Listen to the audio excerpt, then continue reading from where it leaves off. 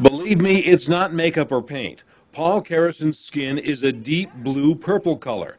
The 57 year old started making the transition from fair skin and freckles to this about 14 years ago. It, the, the change was so gradual that I, that I, I didn't perceive it.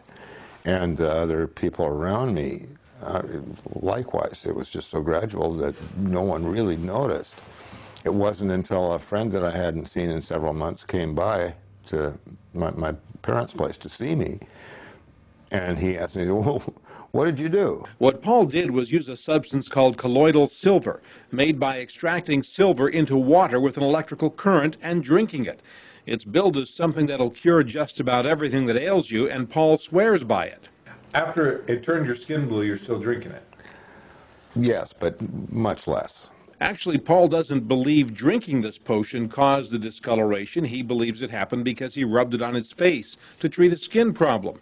But a medical condition called argyria has been linked to such discoloration since the days when silver solutions were used as antibiotics.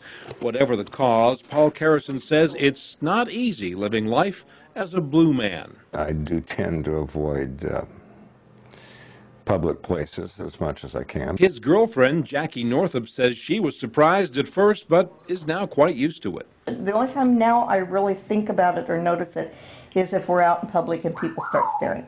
Paul moved to Madera about six months ago after living in Oregon. He says too many folks there weren't nice to him. He thinks people here will be different. I hope that, that they just, uh, Accept you and learn to like you. yeah, accept me, you know. He's a very kind man, big heart.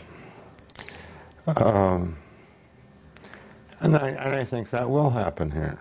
Where I was, I rather doubt it would have. Okay. But this is a this is a different kind of community here.